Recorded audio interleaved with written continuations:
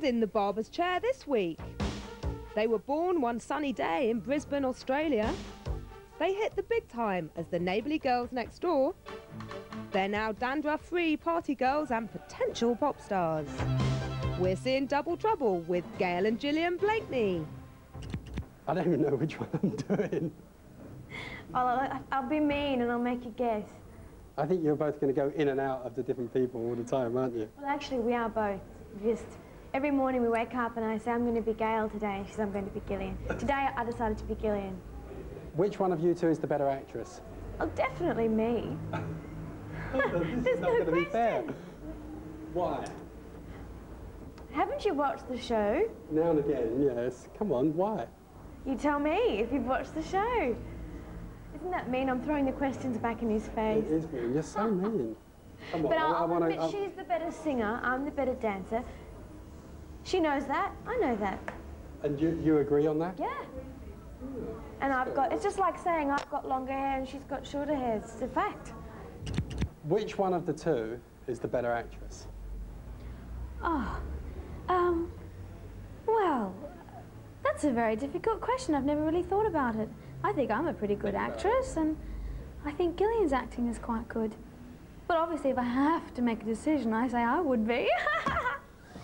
That's predictable. A fight.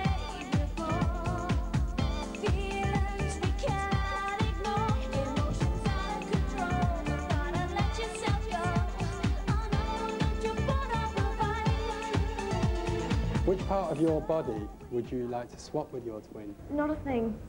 I'm quite. Well, so the thing is, we've got exactly the same body type, and I'm very happy with what I've got. There's nothing I'd, I'd steal from her at all.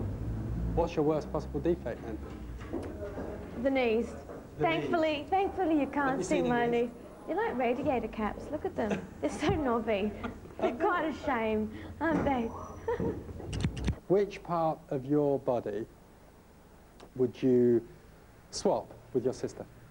Uh, well, In if you, words, I if want to you, know which, you know, if is you've your noticed, worst we're very, very defect. similar. Very similar. Very, very similar. In fact, you know. But do you do that on purpose? no, we we were born that way. No, I'm talking about the fact that you dress similarly and No, we don't. I've got a long Lisa Rouge dress on, and she has the short little mini. Of course, we both like wearing black, and we like gold accessories and things.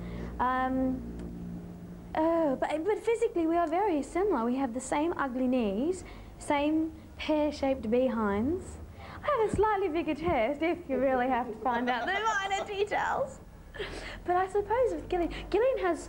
Um, Gillian, I think Gillian has a nicer bone structure. Perhaps I would like her refined features, so to speak. Big, big, big E.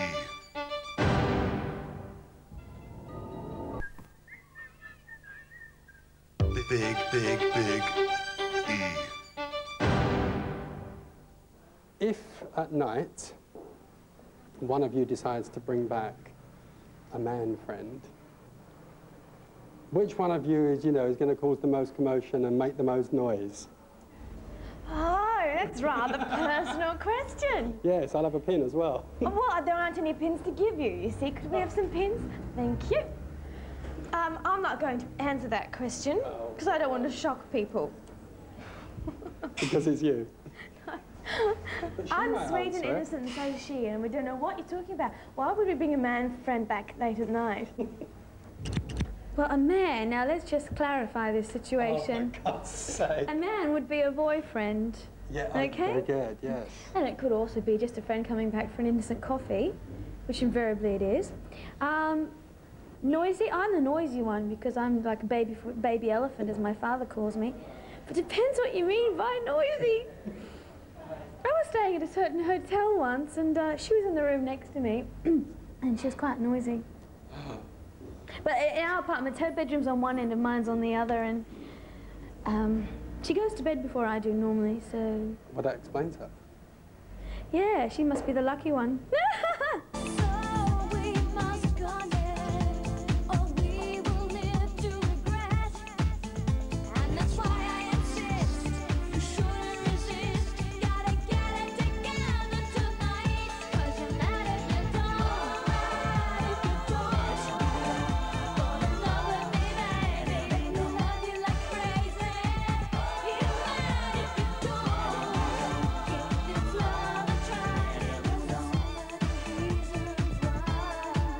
Name me one man that you both fancy. We have very different tastes in men. Yeah, you've already said that she likes. Um, There's obviously a man in the, in the public eye. Um, Yeah, or a type of man. a type of man? No, it's easy to answer Yeah, it is actually. public eye. Um, no, question too hard. Oh, come on, we'll have to come back to it. Okay. I'm, I'm have to think desperate for an it. answer for this one. You, Nikki. we both fancy you. That was the answer I was looking for. Well, you got it. Oh, goodness. We both think Brad Pitt's rather gorgeous. Yeah, Um, predictable. Yeah, go on, who else? oh, gosh. We, we, we, we, you know, if we ever met a man and we were both single, just perchance, we're quite diplomatic about it. I can assess pretty quickly, and so she, she can as well, decide who he's more suited to. So the other Oh, one just one steers clear. But we Oh, it's obviously. not the kind of knife in the back saying, I saw him Oh, first. never. There's no bitchiness between us. Um, Gillian goes for better looking men than I do. She, you know, she does. She goes for, for looks more so than I do, definitely. So, you, so you've never been approached by somebody who would kind of like to take both of you to bed? Yeah, well, every now and then you get that suggestion. And how do you deal with it? You don't. You don't even acknowledge it.